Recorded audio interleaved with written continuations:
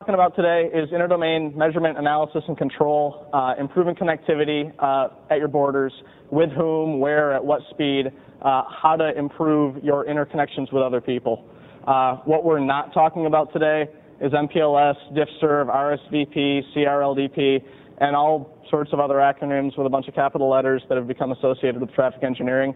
Traffic engineering is clearly a very, very big subject, and in the next 90 minutes we will cover a very, very small portion of it, but hopefully we'll cover it reasonably well.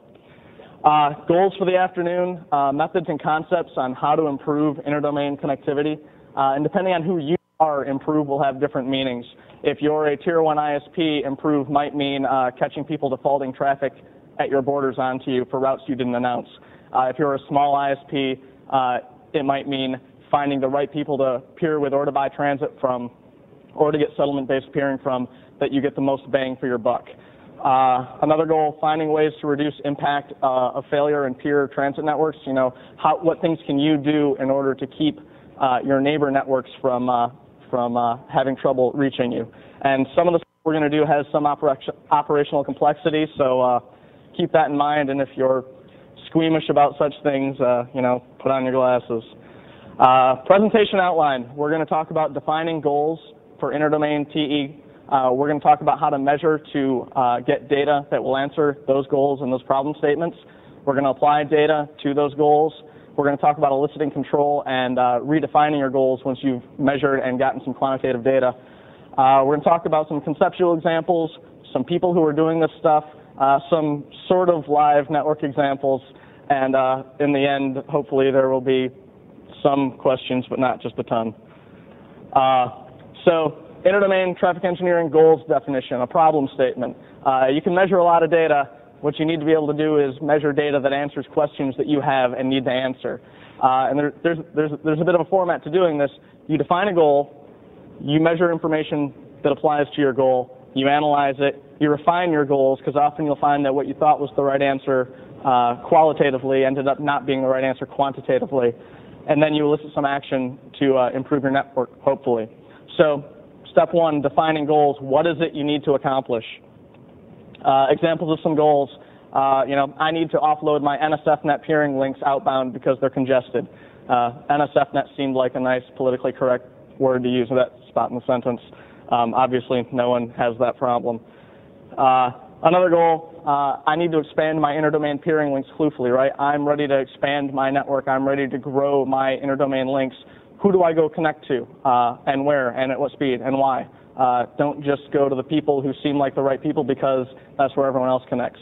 Uh, that's an expensive way to do business. And uh, a third goal, you know, hey, I need to find some people. I need to ide- identify some sales opportunities. Seems like a strange thing to talk about in a traffic engineering discussion, but you know, when it comes right down to it, we're all here to put products on the market. Uh, once you've defined a goal, don't be afraid to adjust your assumptions once you've started measuring. Uh, uh, you know, just what you plan to do and what you end up doing may change substantially, and that's okay. Um, clue about doing all this stuff should increase as valid network data becomes available and consulted. And I just can't stress this enough. There's just a ton of people out there who go through all the trouble of measuring and collecting data and never use it. And they've just created a truckload of work for themselves that, you know, doesn't help and actually probably hurts them quite a bit because uh, they don't use it. Uh, what sort of data should I collect? Uh, for the for the purposes of what we're doing and, and, what we're trying to do, we need flow export data or some generic traffic accounting information. Uh, we need BGP routing data. Uh, we can use active measurement data, uh, ping, traceroute going out and measuring the product of what you're offering, measuring through your network and some amount of SNMP niceties to get nice titles for things. Uh, there's some public tools available for this, CFlowD, Zebra, Ping, Traceroute, Scotty, all number of things. There are some commercial products available that do this sort of stuff as well. And uh, so once you've defined a goal, and you know we can choose any goal we want, uh, you need to go measure data that will help you solve that problem. If you don't have a problem statement, you're just going to end up with a ton of data that you don't know how to use in the right way. So, you know, domain TE measurement or getting good problem goal specific data. Can everybody hear me? Person in the back is supposed to wave their hand and say, yes, I can hear you. Um, So the assumed network model, uh, you know, th- there's just a, a, zillion of them, but the one that seems to be sort of prevalent and the one that we worked with the most is the hierarchical network model. Uh, here, your ingress and egress network services are separated from your transit services. Uh, it works in others, but you know, this is what we're going to focus on. So here's a nice little picture that I drew. Um, you have your core network services, uh, and the access to those is relegated by core routers, and the access into your transport service or your transit service uh, is by edge routers, whether they be peer routers, gateway routers, web hosting routers, customer aggregation routers, whatever. Uh, and your interdomain links or your customer links are off of the edge. Uh, that model works really well for measurement and analysis and the sort of things we want to do. We'll talk about a couple of other models. Actually, we'll talk about another model, uh, which is much harder to work with. Uh, so types of data to measure, again, routing data. Our focus here is BGP, and you know, I, I suppose if someone here has the need to use IDRP or, you know, heaven forbid, EGP, you could do the same general sort of thing with it, but obviously, you know, BGP4 is our, is our focus here. Traffic data, we're using uh, NetFlow, Flow Export v5 here. Uh, again, any sort of traffic accounting information is helpful, uh, whether it be TCP dump or, you know, whatever you want to use, uh, as long as you can get some amount of traffic load information. And then active measurement and performance data, ping, traceroute, one-way delay, jitter, all the things that are statements about the quality of, you, of the product of your services as opposed to the devices. Uh, routing data. Routers do this reasonably well. I mean, it's the core competency by design of what a router is. Routers should route. And if they don't, you should probably get a different kind of router. Um, different data sets are available for measurement, uh, IBGP, route reflection, eBGP. IBGP works really well when your problem statement is, I want to measure things outbound. I want to see exit off of my network. Uh, and when you're measuring flow data and routing data from the same device and your question is outbound, IBGP is definitely the way to go. Route reflection, another way to go. If you're trying to answer an inbound question, uh, obviously, traffic coming, the destination address coming into your network is going to map to a route. IBGP won't communicate that information to you. You have to use route reflection to cleanly get internal routes from your device. Uh, choose the right one to measure based on your needs and goals. So, you know, same general picture. If I'm if I'm trying to answer this question of traffic coming in from AS3 to my peer box 2, uh, in order for me to see what routes and what AS paths traffic maps to across my core network, I need to use route reflection pretty basic BGP stuff. Uh, if I'm answering the reverse question of traffic coming from my core network services into Peer 2 over the thick links going out to these ASs, those are external links, and as long as they've been marked, marked active, my BGP collector will get those routes, and all I need is standard IBGP because those routes are announced to me that way. Uh, so, uh, said in a longer sentence, when your goal is outbound characterization and your measurement point is the exit point for traffic, IBGP is the person you want to work with. Uh, I honestly thought that this was funny when I wrote it. Protocols hate being anthropomorphized. I really thought that was funny a couple of weeks ago. I appreciate your sympathy laugh. Uh, when your goal is inbound characterization and your measurement point is the entry point for traffic, route reflection must be used. Same picture, you know, same idea. When you're coming in and your measurement point is peer 2, if you're looking at traffic coming in, you need to know about internal routes. That means you need route reflection. If you're looking outbound, you're looking at external routes. That means IBGP will suffice. IBGP, you know, N by IBGP is a lot easier to do than N by route reflection just by number of paths. Uh, just slightly off topic, but it was a good place to mention this. Uh, the concept of full mesh uh, BGP monitoring uh, and the value of it. You know, by full mesh, I mean, hey, you know, I have a whole bunch of blue boxes, and they're all sending IBGP routes to the collector. You get a full view of what your domain is doing. You can track routes historically. You can go back and look for historical problems. You can do policy benchmarking, say, hey, you know, I want to know when something bad has happened. Tell me. I want to know when I hear default from the wrong place. I want to know if I hear default at all. I want to know if I'm hearing, you know, UUNET's routes through cable and wireless, et cetera, et cetera. Uh, tracking med selection issues, that's a really good way to do that. Um, but just bottom line, uh, identifying disasters the first time cluefully. Um, there's just so many people out there who have really bad routing mess ups, and uh, they just, you know, they sort of wait for it to happen again to see if they can catch it in the act, and it hurts everybody. So it's a global table. Please, you know, do a little bit of measurement and try and try and head things off at the pass. Uh, a little off topic, but I, I actually felt like it was sort of important to mention. Uh, again, the full mesh picture. That one was easy to draw. Uh, traffic accounting data. Uh, once you have routing information, you need traffic accounting information. You could call it flow export, you could call it net flow, you could call it cflow. I call it a major pain in my ass. Um, you, could also use sflow. You could use, you know, any sort of traffic accounting information. We used flow export because we were working with Cisco's and Junipers. Uh, the quick skinny on flow is basically packet and byte counters per unique set of traffic attributes, source IP, dest IP, source port, dest port, etc. Uh, it's measured from strategic routers per input interface currently. Uh, which interfaces depends on your defined goals and needs, and we'll get a little bit more into that in a second. And uh, there's a lot of historical complaints about flow export, and believe me, I understand it, but it really has come quite a long way in the last couple of years. It is not, you know, it is not your grandfather's flow export technology. Um, it works a lot better than it did in 99. So if, you know, if you heard from someone once upon a time, gosh, you know, NetFlow, can't do that, that's bad, you know, things have, things have changed a little bit over time. Uh, so uh, collecting flow export information as per your problem statement.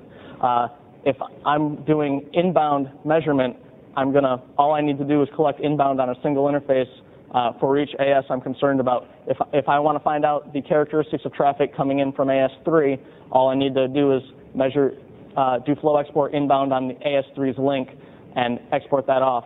Uh, that'll that'll answer that question. That's really easy to do. Similarly, in the hierarchical network model, uh, if you want to answer the outbound question, it's pretty easy to do too because there's only two links that can contribute to ex- external load off of peer 2. Uh, and in any sane network, your core network services will never transit your edge box. So any traffic that's coming in those two interfaces is destined either for that router or for one of the exit points off that router. So in this model, IBGP and a low number of interfaces will give you all the information you need. We'll get to that. Um, yeah, we can talk later about overlapping problem statements. That's a, a different story. Uh, this is an example of a non-hierarchical network, obviously. Uh, ANS back in the day was sort of an example of this, uh, where your core services and your edge services come off of the same box.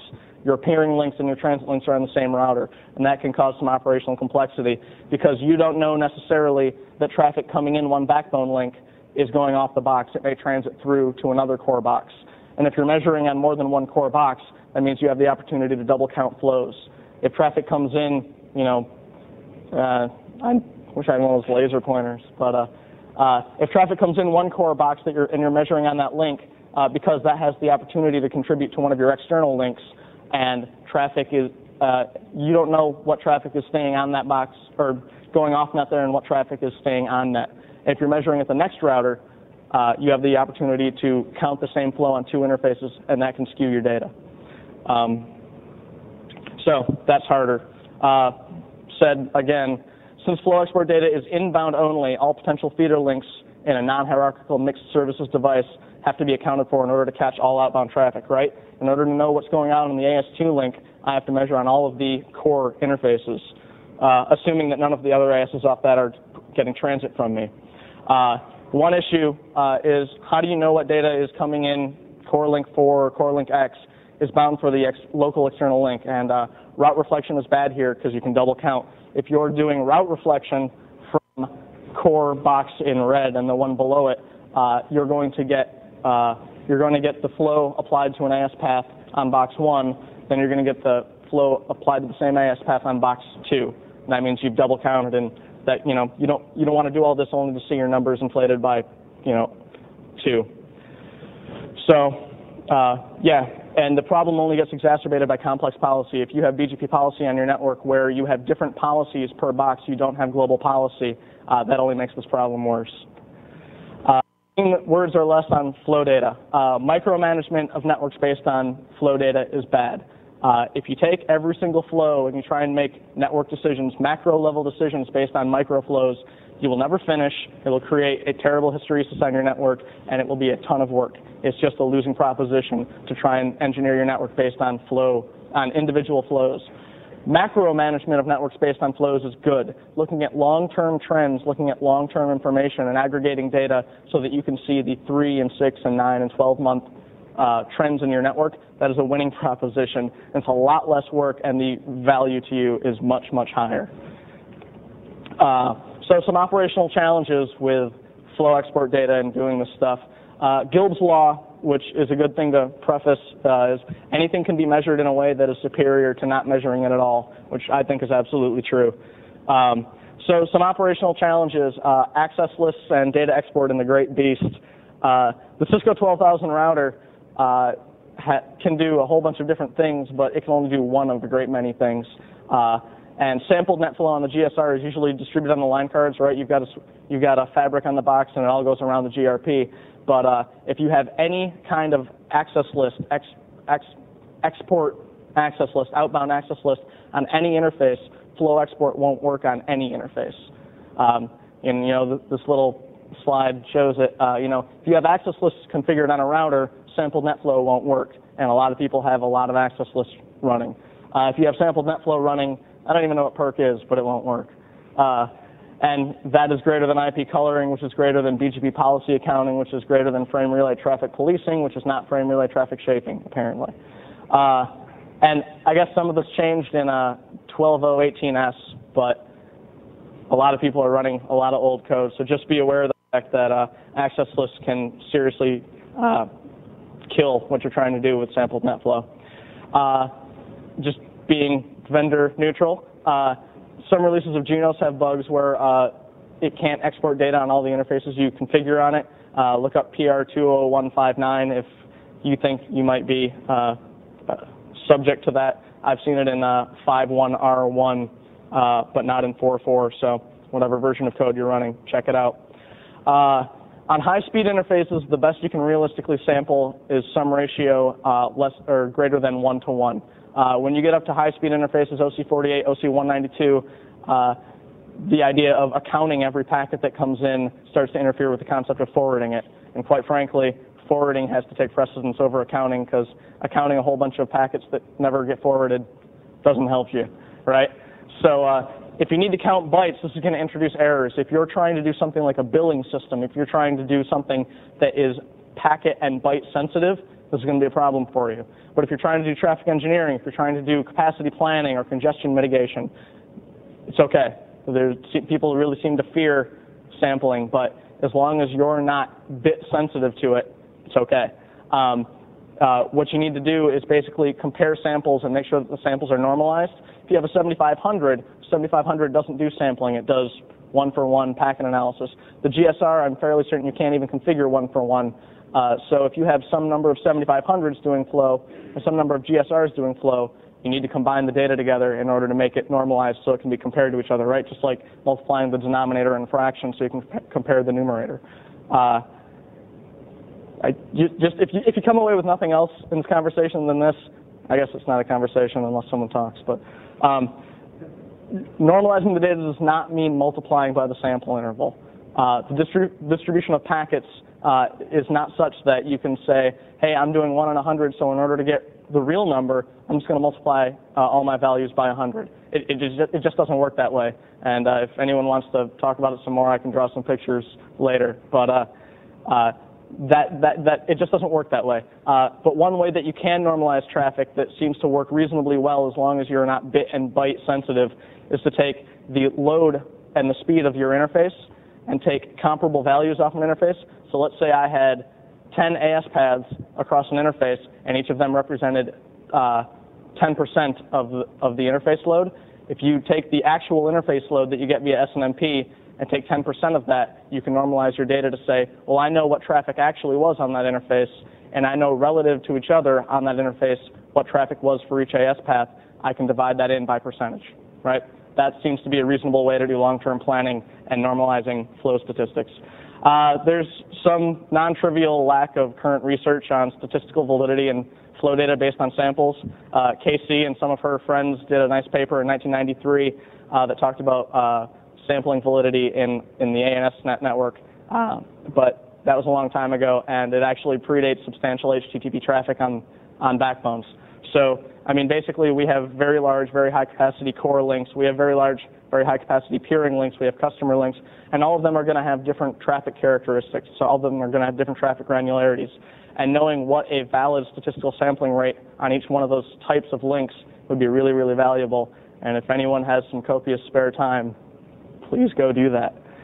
Um, at any rate, so the question of, well, what's a valid sampling rate? That's a really good question. And it would be really good if some people started sitting down to work on that. Or if they already are, that's great. Uh, so I, again, tried to be funny.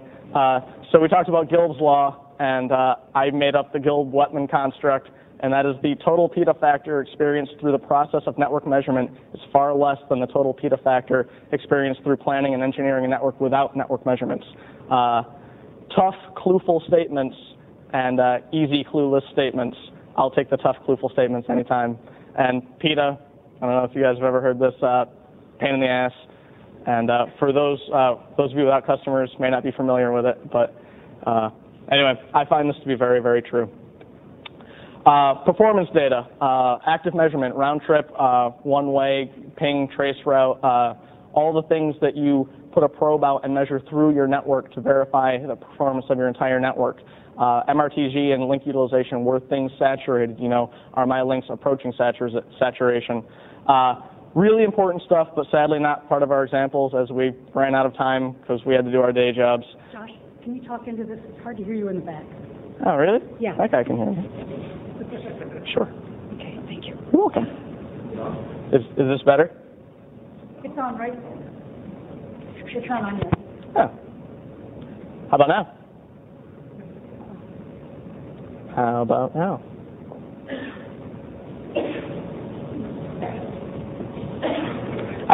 I, can try and yell.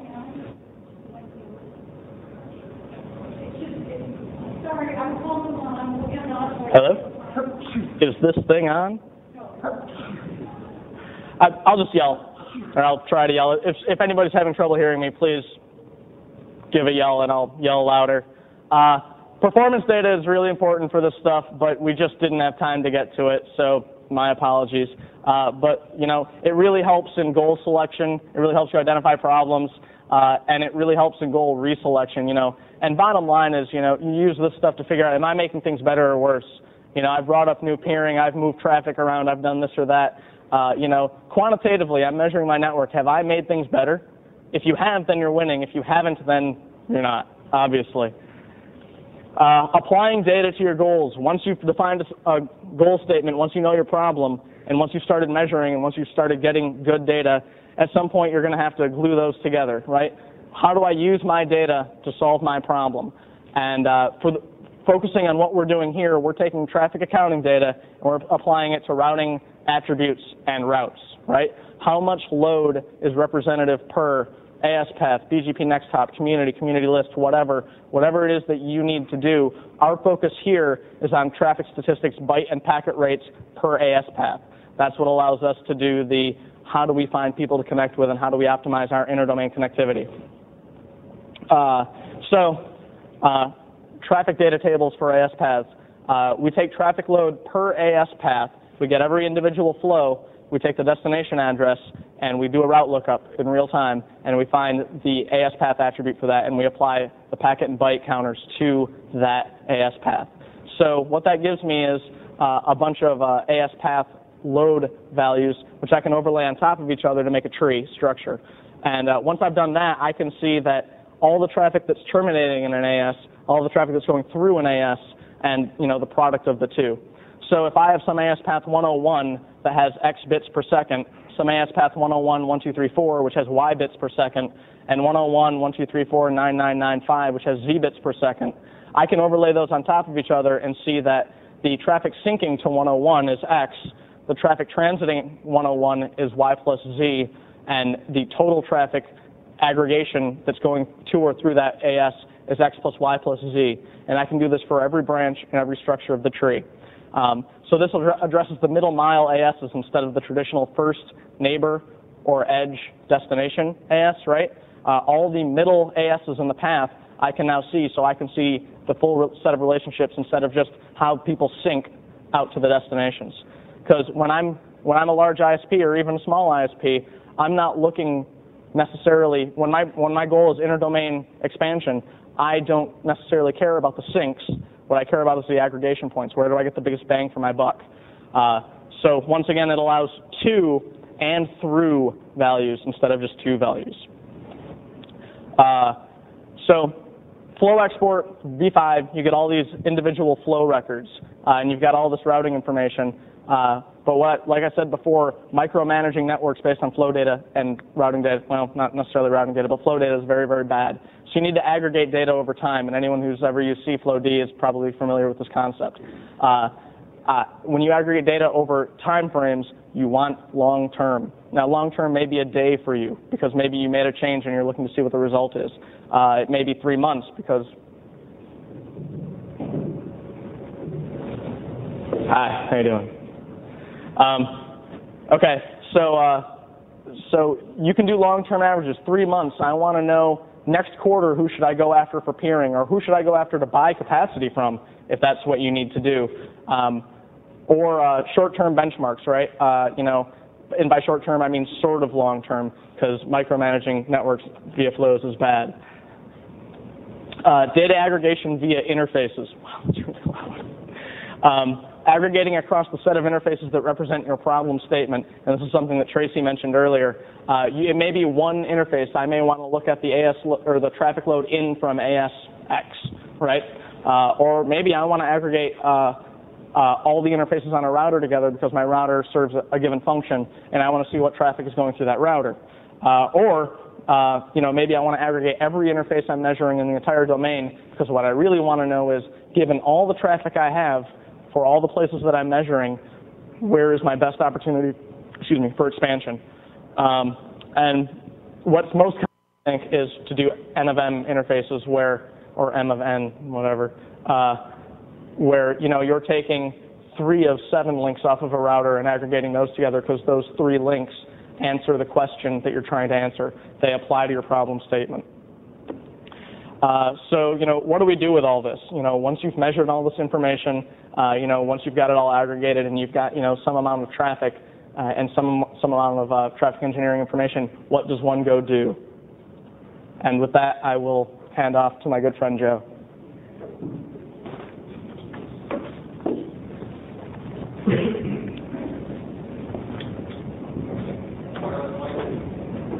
Right. You might forget that. Yeah.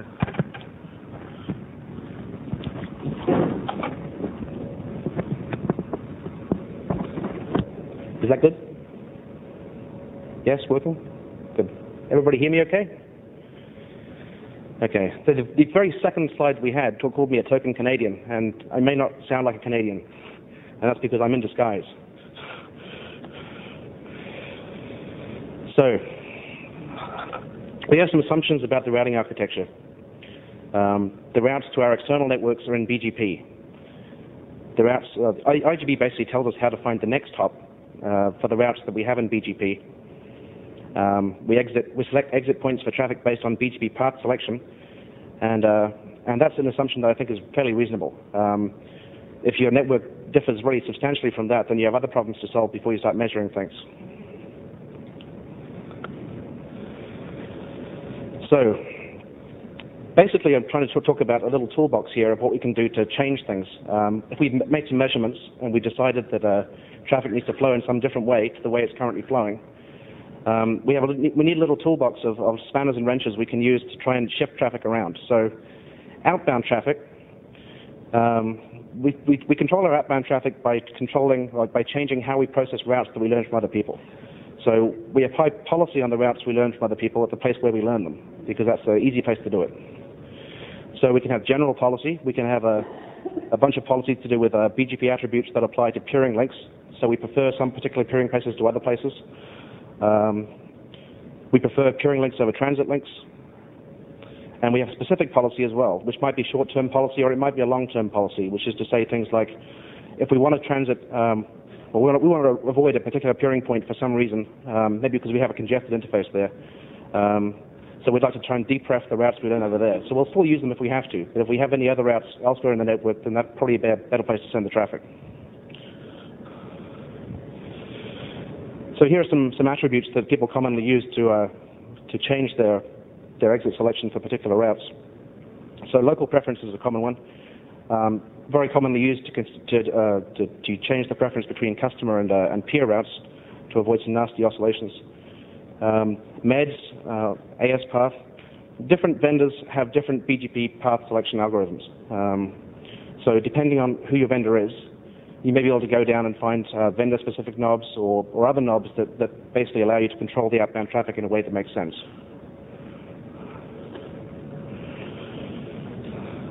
So the idea of making all these changes is to do small changes if you can. Small changes and then pause and wait and wait and see what happens. Because there's a natural latency between things happening and people reacting to it. So uh, changing something and then looking and saying, well, you know, the, the interface stats seem reasonable now. Uh, the pings are no longer five, taking five seconds to go across this OC12. Um, everything must be okay, I'll go home now. That's not really a good approach. Um, the idea is to make very small changes and then basically repeat. So inbound traffic is a, is a, is a different sort of problem. Uh, inbound traffic and controlling where your inbound traffic comes um, is trying to is all about influencing policy in other networks. So you're talking about in, in, influencing basically the outbound policy of your peers and transit providers, and also people in the world that have no connection to you whatsoever. So in general, this is a harder problem. Um, yeah. So some providers give some degree of control to their customers and peers to allow those people to influence the way that exit selection is done in those foreign networks. So uh, 1755, the WHOIS record there, has, has an interesting selection of community strings you can set to influence the way routes are propagated through 1755 to other peers and customers. So lots of lots of providers do this kind of thing. So you talk to your provider and people you directly talk to, you may find that there are particular community, string, community strings you can use to change the way that your the routes that you advertise are treated by those other networks, and that can be a useful way of adjusting your inbound traffic. Um, CIDR abuse. If you advertise a long prefix, the chances are the traffic will follow that as long as people receive that long prefix and don't filter it. So there are a bunch of networks around the place that do traffic engineering by advertising an overlapping set of prefixes. They might have a supernet, a slash 16 supernet, but for particular bits of traffic which they might prefer to advertise to, to, to receive over a different link, they'll advertise um, a slash 24, which is covered by that 16, down the other link. So they have a covering aggregate to make sure they don't lose any traffic.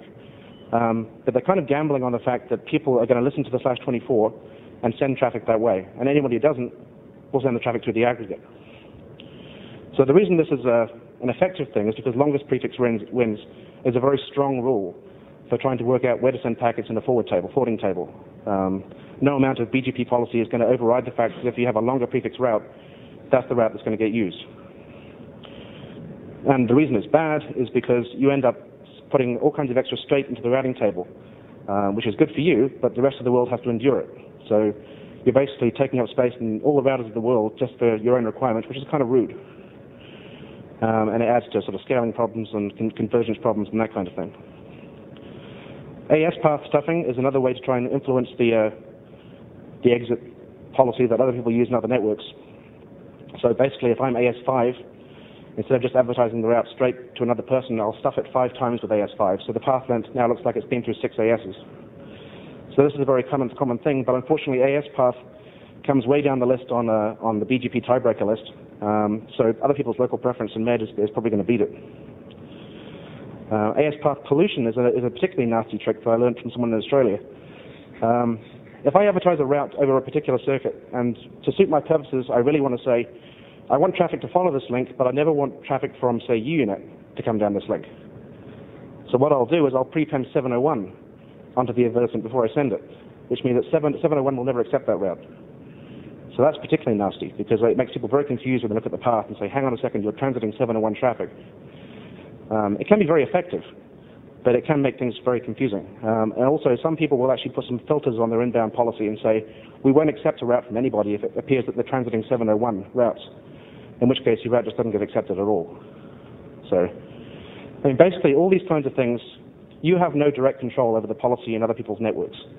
Um, so all these things are just things to try, to try and edge a little bit more traffic one way, uh, a little more traffic the other way. So you can try and sort of adjust the flow of traffic between different external links.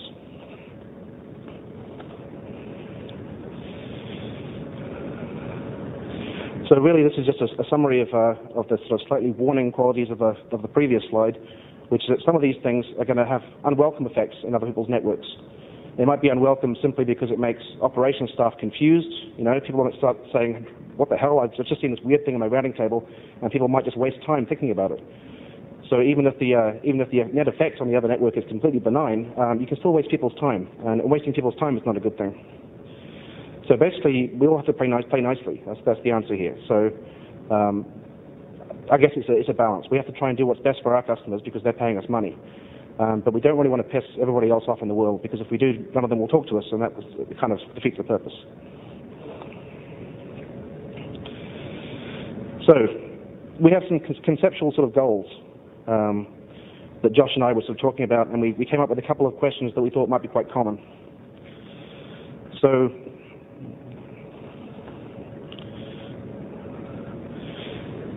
the conceptual example, the first one, is basically who is, who is chewing up my network resources. So we're concentrating now, for the purposes of, of our little experimentation, on outbound traffic. We're looking at where are we sending our traffic, um, And the reason we're looking at those sort of things is to try and control our outbound traffic. So we're looking at appropriate network expansion. Who should we peer with next? Um, we might have particular peers that we need to maintain traffic ratios with. So it may be good, for example, not to send traffic to a particular peer if we can avoid it.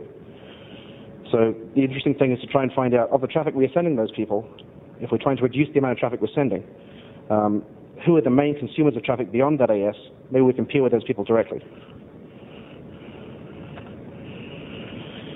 So another example is um, trying to spot from traffic flows when people are doing things that they shouldn't necessarily be doing. So this one here, theft over IP is Josh's term. Um, I don't know responsibility for that one. Uh, the idea is to say, if we have a peer, some of this peer may have a problem due to a misconfiguration or perhaps some more nefarious purpose, they are sending traffic to us which corresponds to routes that we are not sending them. So they might be using us as a default. They might suddenly have a, a, a temporary problem that they can find they can relieve by sending traffic at us instead because they know our connection to, say, another PRAS is better than theirs. Um, and this is a thing, if you don't measure your network, you can never really tell this is going on until someone opens a trouble ticket. And if somebody may never open a trouble ticket because it may never cause anybody any problems. But even so, it's consuming your network resources from, by people who are, who are not paying you.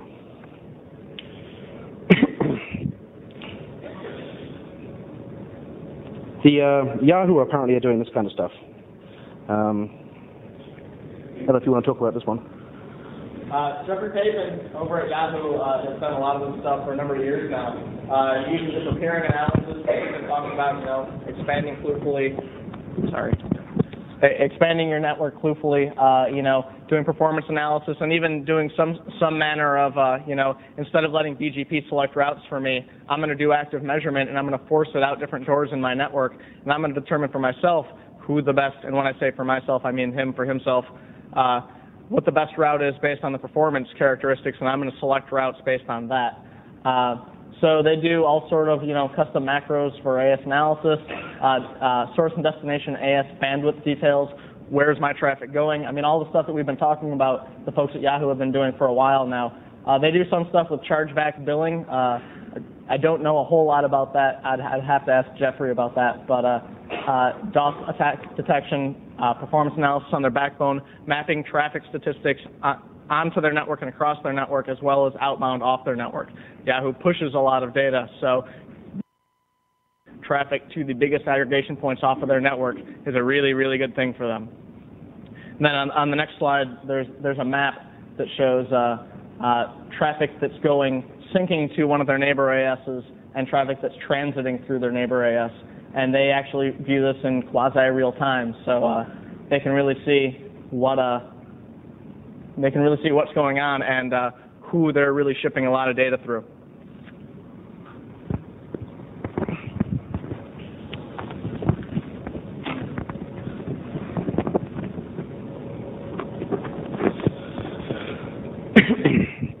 okay, so the last few things we're going to talk about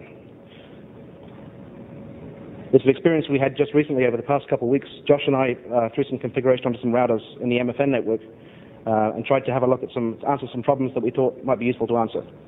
So you'll find these examples are not tremendously heavy on details, do not have too many specifics in them because uh, um, we have contracts with our peers that say that we're allowed to look at traffic data for the purposes of, uh, of traffic engineering. uh, as I think most people do, um, but they don't tend to cover sort of basically publishing that data and telling other people at a conference. So this is kind of sort of a little bit abstract, but uh, the principles I think should be quite clear. So here's a here's a network example that we, we that we tried to try to answer a question. So we appear with this particular large regional ISP in several places, uh, and we're congested towards them. So we're not congested all day or anything, honest, but uh, towards some of these people, uh, over some of these peering links at certain times of the day, we, we get kind of busy. Um, so what we're going to try and do is offload that. So who are the top people behind this, this large regional provider that we're talking to that we reach via them? So maybe we can peer with them directly. Um, and not just the endpoints, not just the final endpoints of the, the ASs that are actually sinking the traffic, but for example, what aggregation points exist between them, what tier two providers uh, or regional providers or whatever you want to call them behind this large ISP um, can we maybe talk to directly in order to offload uh, the congested peering circuits. So we had a little look at the network. And although a lot of the network is sort of pure core edge along the lines that Josh described in his diagram, um, there are other areas where it isn't. Um, there are other areas where it looks more like the ANS diagram. Um, for one reason or another, you know, expedience and availability of hardware, circuits get added where they need to get added. And people are not always thinking directly of measurement when they do it. So it's maybe not as convenient as we, as we would like, but we can probably still do something. So in this example, all the peering routers are GSR 12000s. All the peering circuits are OC12, and most, in the, in the areas where we do have a hierarchical model, most of the links back to the core are OC48. So it's a GSR. We know we're doing sampling NetFlow, net flow anyway. Um, there are OC48 circuits involved, some of which are quite busy. So maybe the sampling ratio is not going to be particularly close to one-to-one -one because we don't want to flood the network with measurement data. so the sampling thing is probably okay because we're looking at relative tra traffic volumes. We want to see for the, uh, for the to and through categories behind this large regional ISP, we want to be able to say, um, let's order these things by, by traffic to and traffic through and, and, and sort them uh, and look at the people at the top of the list. So a couple little things we found out. Turning on IP route cache flow sampled on an interface that didn't previously have it can cause, cause the router to sort of um, pause for a second and, and contemplate its existence and, and, wonder what it's doing here. Uh, and while it's doing that, the traffic kind of goes everywhere. So as we, as we found out, um, doing that, turning that kind of thing on is, is good to do in advance or good to do in a maintenance window, and it's not particularly good to do at peak time. Um, inbound ACLs, as Josh mentioned, there's this contention for the feature set on inbound, uh, for the for the inbound traffic management stuff on a, on a line card. So we can't have ACLs running and expect to get NetFlow data as well. So a lot of interfaces, for one reason or another, will have some sort of uh, will have some sort of ACL on them. Um, maybe peering links aren't necessarily the ones that do that, but in the parts of, parts of the network where we have multiple kinds of external links on a single router, so it's not purely purely peering, we might have ACLs out towards the customer, for example. And if we have an outbound ACL, an outbound ACL on a GSR is, is actually implemented as an inbound ACL on all other interfaces. So that effectively wipes out NetFlow from the, from the entire router. So we have to turn off all the ACLs, and we have to talk to the people who put the ACLs on to find out whether it's appropriate to take them off. So these kind of things can take some time. Um, and again, this is a little hurdle that can, can stop you just measuring in five minutes after you thought of a question. Um, so we configure the, configure the, uh, the, the, export hosts. The router starts sending the data, uh, and then a flood of data arrives, and we, and we sit back and watch the disk nervously.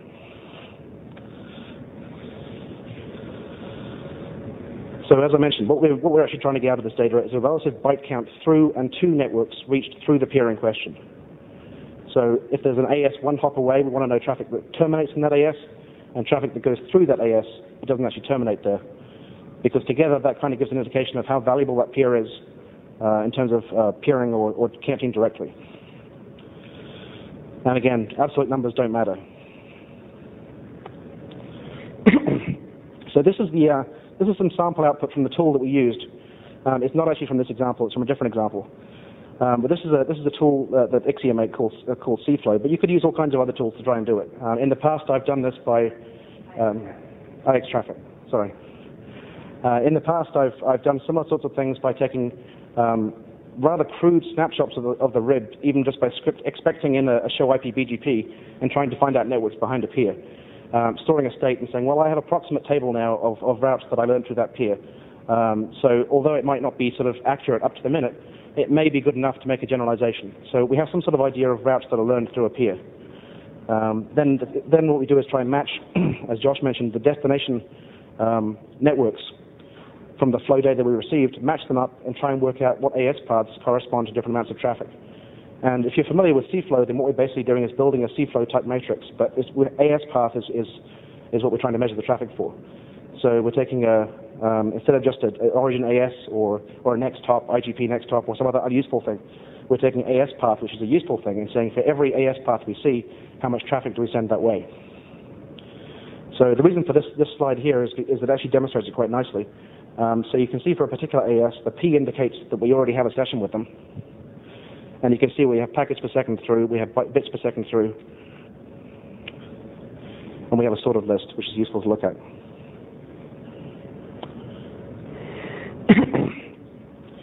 so we have another example now. We have somebody who comes towards us and says they want to peer. Um, and that's good because we're good at peering, and we like doing peering with all kinds of people. Um, but this particular person says we don't really want to peer across an exchange that you're already at because we, we already consume a lot of your traffic. Um, you know, in fact, we, can, we, we say we consume 140 megs of your traffic at peak, so like a, a fast Ethernet connection over a peering exchange somewhere is probably a waste of time. Um, so we want to PNI. We want to do a private peering connection straight away. So we want, they want us to allocate a port and do a direct interconnect with them. Now, it may be that we haven't really heard of ASR particularly much. Maybe they're kind of new. Uh, maybe we don't have any sort of um, conceptual way of trying to work out whether that's a reasonable thing for them to say. Uh, maybe they're just mistaken. So in any case, it would be nice to confirm the numbers and find out that we do really want to peer with them directly straight away and not waste our time with a, with a public connection. so the answer we're trying to answer, uh, the question we're trying to answer is how much traffic are we sending to this, this, this uh, ASR? And uh, we currently reach them through some other AS, AST. And we peer with AST in, in a number of places. We have more complexities because some of the older peering exchanges um, still have some older routers on. And we have an overlap between this problem and the other problem. So we're going to end up getting flow data from one router that corresponds to both. Again, we have topology that is not edge core uh, throughout the whole, whole network. We want to get actual numbers out of this um, because we actually want to find an answer for how much traffic we're sending. Uh, and for various sort of uh, recent localized reasons, we keep, keep, having to apply ACLs to various interfaces because we get large amounts of sort of unwelcome traffic directed at our routers from various places, um, which we have to kind of that kind of takes priority against measuring against some future peering things. So um, we're going to have holes in our data, and the chances are we're going to have holes in our data which don't correspond across the board because ACLs aren't applied everywhere simultaneously. So we might have one speaker that suddenly stops sending us NetFlow data for a while, um, and then another one that does it later, and we end up with this overlapping, overlapping picture.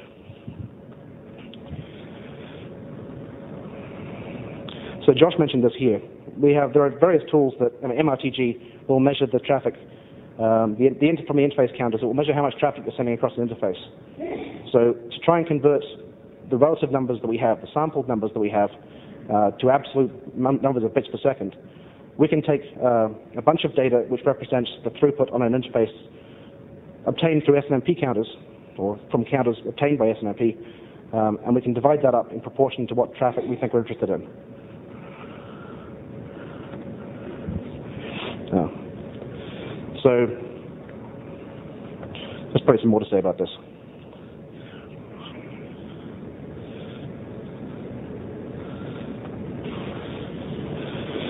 So the, the problem with the 7500 we kind of sidestepped because it turned out that was a public peering arrangement where the routes were so sort of um, so depreffed we weren't sending any traffic there anyway. So we could actually reduce the set of AST peerings which we have to bother about by looking at the realities of how the routes were being depreffed through existing policy. So we could go through and say, um, of those original six peering places, uh, in fact, there's only four we have to worry about uh, because the other ones just basically aren't used. They're routes that are never normally selected. Um, we did the trick with uh, the MRTG thing. Well, actually, we have a tool called Duck, which does the same thing. So we could divide up and get absolute numbers for the, for the throughput to AST that corresponded to traffic that was going through or to ASR. And the problem with the, uh, the overlapping problem statement turned out to be not a problem at all. Um, it's very trivial, basically, because none of the traffic that we were, we were, we were counting with the other provider obviously was uh, had an next hop of AST. um, because it's all going to places in the other provider, which is not AST. So the fact that we had data from the same router answering both problems was just not an issue because we could sort the data very easily and say problems, uh, data which corresponds to this question, uh, which we'll use to make an answer, all has AST as the first next hop, which is a very simple way of, of splitting all traffic out that only corresponds to this problem. The problem with the, uh, with the ACLs that kept appearing and disappearing in various parts of the network um, was a little bit more annoying to try and, to try and spot. We could spot holes and find out where we didn't get flow data with an X-top of AST from a router in a period of time, which is a fairly good indication that, an ACL was put on. Um, but it also could be something to do with the fact that there was some other routing policy going on. Maybe somebody changed the, uh, the, the, routing policy due to connect, congested interface and depreffed a connection, which meant suddenly we stopped sending traffic that way. Um, so the only real good way of, of, tracking this down, which was kind of a crude way of doing it, is we have a, we have a tool called Rancid that probably many people are familiar with, which keeps track of our configurations in our routers uh, and stores them in CVS. So we have a complete configuration history of sampled configurations which are polled every half hour. So with half hour granularity, we can spot where an ACL has been applied to an interface um, and therefore discount the, the, the, basically the entire pool of data for AST for the, answering this problem um, during that period while we have any ACL on any of the interfaces we're talking about. So the problem with doing this, when you have a lot of ACLs being applied and pulled off, and when you have a half-hour granularity, is you end up with not necessarily an awful lot of periods of time where you can measure traffic. And also the periods where you can measure traffic might span a couple of weeks, but might correspond to different times of day, um, different times of times of week, and might not necessarily be representative of traffic flow during the entire period. So the ideal answer here is to try and beat on the vendors and make sure you can do ACLs and sample NetFlow at the same time. Um, but absent that, the other thing is to try and do is just keep the ACLs off the router while you're doing the measurement. So, this is our summary. The problems that we tried to track down during our experimentation just over the last couple of weeks were ad hoc questions. They were particular questions with, with very specific um, sort of problem ranges. Um, and we tried to add configuration to the network to try and pull those answers, pull data out and answer those questions. So we found out that, uh, well, we've, we've already just completed the measurement stage. The next stage would be to actually go and make changes uh, in the case of the first example, uh, and to do that in an iterative manner. So we'll try and try and uh, adjust the traffic flow in a slow, sort of controlled way, and then remeasure and see what changed. We didn't actually happen to measure from any Juniper routers because none of the questions concerned had any Juniper routers involved in them. Um, and we didn't attempt to build a full-time general purpose measurement infrastructure to answer these questions in a general way. That seems like a much harder question. Um, it might be sort of uh, manageable for smaller networks, but when you have a few hundred routers involved, um, the collection infrastructure can be a sort of non-trivial sort of thing to, to design. And we also didn't talk about edge flows where the edge router doesn't have any sort of flow export. Um, I mean, there are other boxes we can, that are apparently are available that you can insert in the physical transport path to a router, which will generate NetFlow records.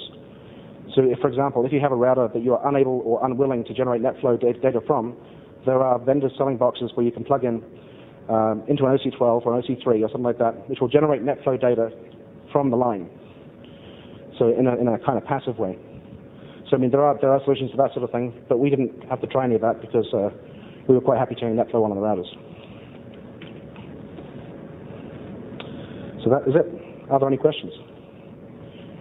Can you uh, talk a little bit about the impact of sampling data all the time? What, what kind of traffic you see? What sort of hardware you need to back up large? Well, the traffic that we, that we, that we recorded, the flow data that we recorded in these examples, um, we used basically a FreeBSD box at one point in the network with, I think, a 20 gig disk on it, which we just watched. Um, and if we need to move things off and archive them somewhere else, we did that. But we certainly didn't need um, a huge sort of uh, humongous data store in order to actually answer this question. And then what, how much, how much flow data was generated by capturing? Do you happen to notice how much data? Um, but one, one thing we should mention is that we weren't recording the raw flows. Uh, we were we were manipulating the raw flows into aggregation tables, uh, and then we were throwing away the raw flows, which you know you may or may not choose to do. So our our requirements for disk usage were substantially less because of that. I think uh, how many routers were there total? Like 12. something like that. something like 12 routers, and all of them were doing one in a hundred samples Yeah. on some number, you know, between three and eight high-speed interfaces, OC12, OC48. And I want to guess that per router, we were collecting something like 12 meg a day, 20 meg a day, something like that. I mean, it, Yeah, it sounds wasn't- reasonable. It wasn't just a, it wasn't an order of magnitude off from that. So as long as we were keeping the, the aggregation tables and not the raw flows, which are voluminous and can chew up disk really fast, the disk requirement was not out of hand. You were not exporting V5 directly to a We were, we were exporting V5 records, but we were not keeping historical records of these Yeah. raw flows. We, we were basically using the data to populate that AS path matrix. And once the matrix had been populated, we threw the data away. So we, we could do that because we're answering specific questions. Um, even sort of semi-specific questions like um, AS path matrices across the network, which still allow you to answer general questions. Um, they don't contain all the data that you could be able to go back and say, well, what actually happened last Tuesday? Because now that we know this, in fact, there was some sort of spike here which caused a problem.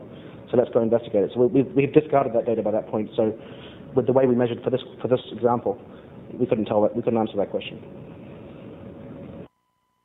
Can we comment on the dollar implications of doing measurement for traffic engineering? I think the answer is that we didn't talk directly about dollars, uh, and Josh will probably have something to say about this as well. We didn't talk directly about dollars, um, apart from references to, to Josh and snake oil. Um, but basically, the idea is that if you have a, a problem in your network that you need to solve, then a very sort of tempting way to solve it, if you have unlimited money, is just to go out and upgrade everything. So if you think one circuit to someone is congested, then you can just go and buy a bigger circuit or buy another circuit. Um, and you can keep doing that. The idea of doing traffic engineering is you don't necessarily have to do that. That's not the only way to answer the question. So if we have a particularly congested peering circuit towards this particular person, um, or transit circuit, then there may be alternatives to upgrading it straight away. We may be able to go out and, and gather other peering, uh, other, uh, other peering sessions across public exchanges where we already are, uh, and basically lower the cost of delivering our traffic without congestion, um, and, and, that, and that way save spending the money.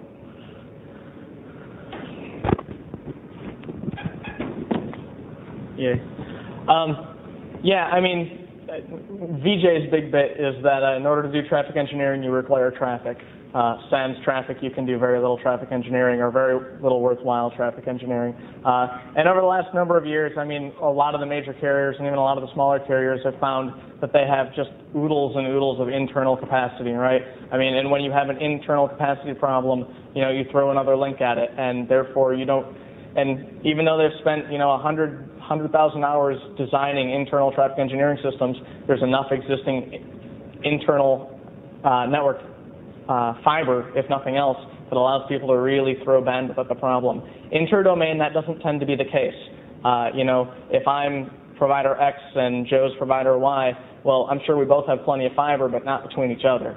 Um, so there's costs with external relationships. Uh, there's costs with ports, there's costs with administrative costs, there's costs with there, there, there's cost with with having interdomain links to be able to get the biggest bang for your buck by figuring out whom am I going to dedicate an expensive uh, router port to uh, because you know who am I going to go peer with. Uh, you may be p- paying those people because you're buying transit. You may be paying those people because your traffic ratio, ratios are such that uh, you're paying a settlement fee. You might be lucky enough to just be a standard peer, and that's great, but there's still costs associated with that. Uh, if you are paying settlement fees to some upstream provider, uh, you're paying settlement fees because you qualify as a peer, but your tra- traffic ratios don't quite uh, meet their criteria. Using this to make your traffic ratios fit into their criteria can obviate costs for you. Uh, and then, you know, the other example is just clearly, you know, using this stuff to go find the consumers of your of your bandwidth and consumers of your resources. Those are people that use the stuff that you provide, and those are sales opportunities. And I don't I don't want to stand up here, you know, with my sales hat on and tell you guys to go off and sell to everyone because it's not really, you know, what the Nanog gig's about. But there are really good reasons to do this stuff to drive revenue and to save costs. What about uh, using BGP accounting to that second column? Using that on BGP accounting is pretty useful, except you need a priori knowledge of what you're looking for. Um, I, and so for the second example, you could use that. Um, the, the problem with, with that is that if you don't know exactly what you want, or if you think that what you want may change based on what you learn, or if you need to know more than six buckets or eight buckets, I can't remember the number, um, it's useful in the same space, but it's pretty limited. You have to know exactly what you need to know ahead of time and need to measure it in the right places, although you do with here too. But I, I think of this as a much more flexible approach to answering a much broader scale of questions. But like DCU and uh, the, the bucket of counters for BGP uh, do have some applic application in the same space. Again, you know, memory uh, uh, usage on the box, some of the same uh, issues in, uh, in deploying it, uh, especially on the Cisco's with the IOS issue. But yeah, I think it's on the list. It's somewhere further down the list too. So if you're doing sample NetFlow end and uh, DCU or the Cisco equivalent, That's right. It's further down. Yeah. yeah. So, so yeah, you can use that in some places. Other questions? One more. You can do it. No? 140 meg uh, number in your presentation. Say again? Well, how much time is this 140 meg number you referring? 140 meg number. Which 140? 140 meg number.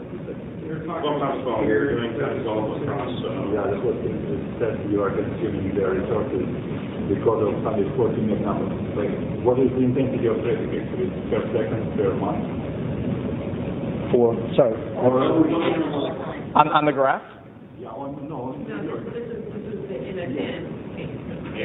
What, peering with AST, that one? yeah. Oh, Oh, that was their claim of how much traffic they exchanged. Per what time? no, that's, I think they were talking about a peak demand. So if we're going to avoid congestion, 140 megabits. per second at peak load. 140 meg So, per second. right. yeah, yeah. Actually, the, uh, the analysis is still ongoing on that one. I, So we haven't quite dec- decided yet. Yeah. We have some answers, but we haven't checked them enough to decide whether they're true or not. Having worked in that environment, there's some architectural constraints, but there's a harder problem.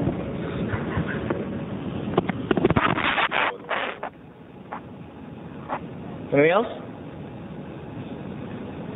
Thanks for sitting through it.